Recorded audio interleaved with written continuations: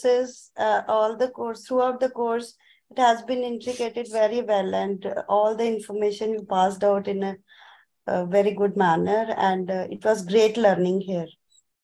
I I had not done much of the assignments, but uh, it's still because the due to busy schedule.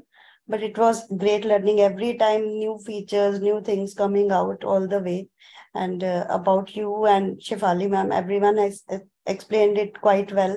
That how did you, how had you taught us uh, um, with patience and uh, with all the intricate details and minute specifications every time we ask and the answer is always there with you.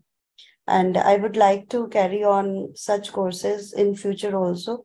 Please keep us informing further through this group or some somehow else any other uh, uh, platform is there.